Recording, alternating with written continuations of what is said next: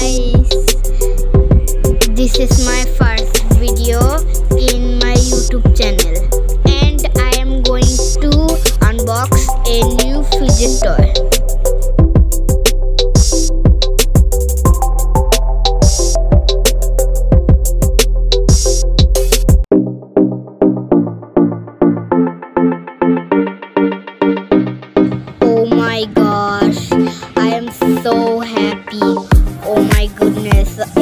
like my dream fidget toy.